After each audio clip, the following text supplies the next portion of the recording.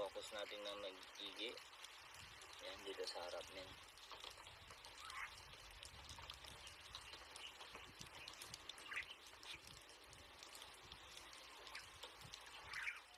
Kaya na no, mga kapangil. Gumagalaw-galaw pa yung tiyan. Ibig sabihin, humihinga. Pero parang patay yung isa. Joke lang. Buhay, buhay men, buhay. Buhay.